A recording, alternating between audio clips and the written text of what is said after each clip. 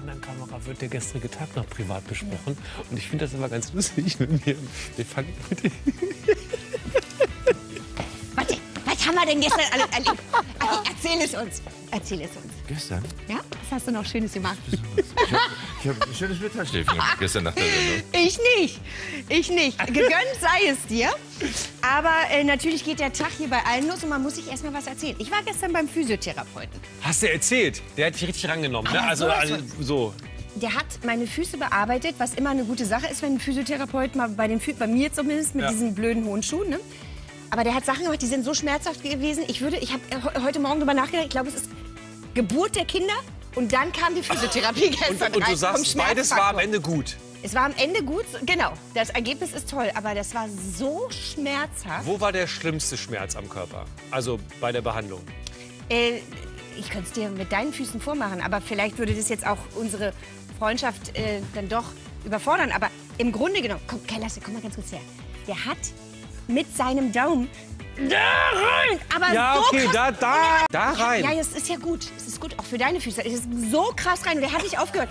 Er hat ungefähr an- jeder Stelle Ja. äh, eine Minute verharrt, um dann drei Millimeter daneben noch mal eine Minute zu verharren.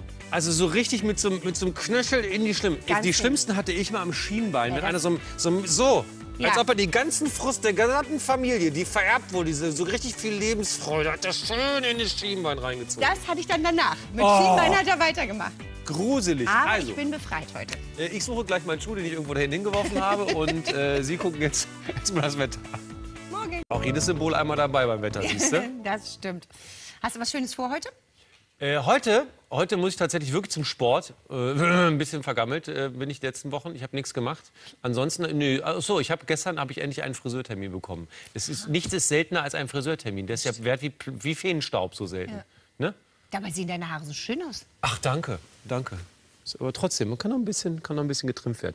Wir reden heute über das Fasten. Hast du heute mal du schon mal Ich habe gefastet? noch nie gefastet. Ich, ha, ich will nicht mit sowas mein normales Essverhalten Mhm. äh, angreifen. Deswegen faste ich nicht. Machen ja viele jetzt nach Ja. der Karnevalszeit. Das Gesprächsthema. Und wir haben einen Gast, der das 17 Tage lang gemacht hat, nur mit Säften, hat 10 Kilo verloren. 17 Tage lang. Verrückt. Er Nichts sagt essen. selber, er würde es nicht nochmal machen und ähm, wir werden genau darüber sprechen, was im Grunde dann tatsächlich auch gefährlich oder grenzwertig ist beim Fasten. Spannendes Thema auf jeden Fall. Auf jeden Fall. Und noch spannender sind unsere Internet-Highlights. Wir haben gesucht und gefunden.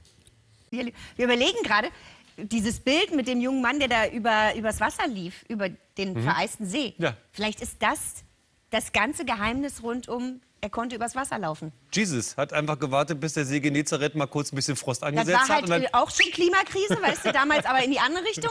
Hatte vorher noch nie einer gesehen. Die kannten einfach nur den See. Es ist ja auch keiner hingegangen, weil es konnte ja keiner schwimmen. So, Und dann, Jesus ist drüber gelaufen. ja, der alte Übers Jay Wasser. Master. Sie- Wie wie wieder ein, ein Mysterium Ja. der Welt geklärt.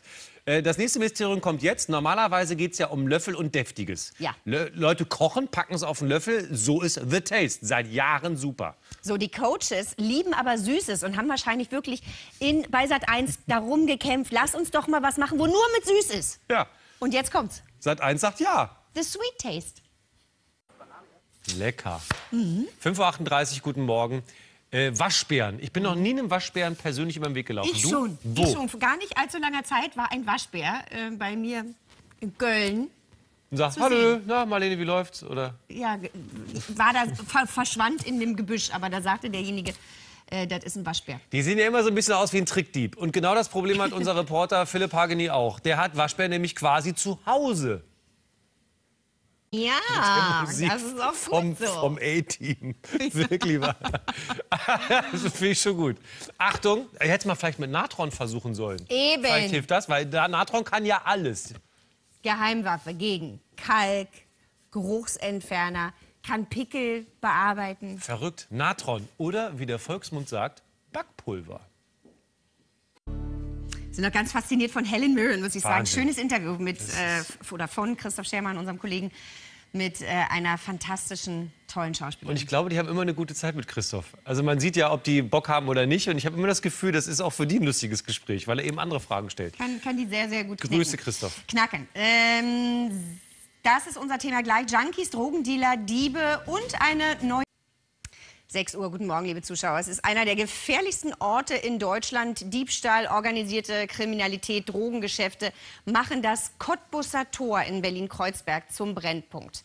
Deswegen bekommt der Platz eine neue eigene Polizeiwache in Berlin und die muss am Eröffnungstag sogar selbst unter Polizeischutz gestellt werden, denn am Kotti sind die Polizisten nicht ganz so gern gesehen. Vor der Eröffnung dieser Wache hat sich laut Polizeigewerkschaft genau ein freiwilliger Beamter für die Arbeit dort gemeldet. Ein Beamter, der sich freiwillig meldet, ist doch verrückt. Aber meine Tochter hat gerade vor kurzem, weil bei Gemischtes Hack bei dem Podcast ständig vom Kotti gesprochen wird. Mama, was ist denn nicht dran an diesem Kotti? Was ist denn daran so besonders? Bisschen spannend. Ein verrufener Ort, 6.06 Uhr, guten Morgen, hier ist das Frühstücksfernsehen. Und auf einmal, und das ist ja wirklich krass, findet die ganze Welt Aufräumen toll. Millionen Menschen, gerade kurz vorm Einschlafen, schauen anderen dabei zu, wie sie ihren Kühlschrank, Badezimmerschubladen oder Vorratsschränke organisieren. Diese Einsortiervideos sind der absolute Trend in den sozialen Medien und dafür gibt es auch gute Gründe.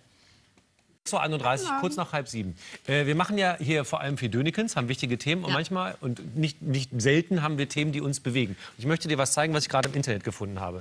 Äh, und zwar habe ich das gesehen bei Twitter beim Chefredakteur von Elf Freunde. Fußball, Achtung, Philipp Köster. So, es gibt einen Fußballer, der heißt Ken Zema von Watford FC. Muss niemandem was sagen. Er hat ein Interview gegeben und das finde ich ganz beeindruckend. Bitte einmal ganz genau hinschauen. Und wir sprechen jetzt über Cybermobbing, weshalb besonders Kinder und Jugendliche bei diesen persönlichen Angriffen im Netz total alleingelassen werden und wohin sie sich wenden können bei einem solchen Fall. Darüber sprechen wir mit dem jungen Mann Lukas Poland. Er wurde selbst zum Mobbingopfer und hat schon mit 14 einen Verein gegründet und bietet seitdem Hilfe an. Ganz beeindruckend seine Geschichte gleich nach der Werbung. I don't wanna hear sad songs anymore. I only wanna Mittwochmorgen, schön, dass Sie mit uns in den Tag starten. Unsere 100.000 Euro Wochen bedeuten, dass es heute 10.000 gibt. Rufen Sie an bis 9 Uhr. Das Geld ist per Blitzüberweisung schon morgen bei Ihnen. 01379 44 44 01, Kennwort Sat 1 oder eine SMS mit Sat 1 an dreimal die 4, dreimal die 1. So, manche haben ja schon Schwierigkeiten mit dem Vorwärtslaufen. Joggen ist für viele zu anstrengend.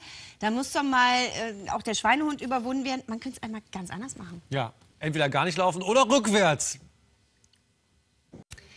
Fast jeder von uns hat wahrscheinlich im Leben schon mal jemand anders gepiesackt. Und der ein oder andere kennt auch das Gefühl, wie es sich äh, anfühlt, wenn man gehänselt wird. Wann wird aber aus einem fiesen Scherz Mobbing und heutzutage eben auch Cybermobbing? Mehr als 1,8 Millionen Schülerinnen und Schüler in Deutschland sind laut einer aktuellen Studie von Cybermobbing betroffen. Die gesundheitlichen Folgen werden oft total unterschätzt. Lukas Poland ist 18 Jahre heute bei uns im Studio. Er ist selber sehr früh schon Opfer von böswilligen Angriffen im Netz geworden und hat mit 14 Jahren schon den Verein Cybermobbing e.V. gegründet. Dort hilft er Kindern und Jugendlichen in diesen Situationen und ist heute Morgen bei uns. Wir haben uns aufs Du geeignet, Lukas, geeinigt. Äh, schön, dass du da bist. Ja, schönen guten Morgen. Erzähl noch mal die Situation. Du warst zwölf Jahre alt. Es gab so einen typischen Streit in der Klasse zwischen zwei Mädchen. Und du hattest das Gefühl, ein Mädchen wird da von allen auf einmal attackiert. Wie, wie bist du denn eingeschritten?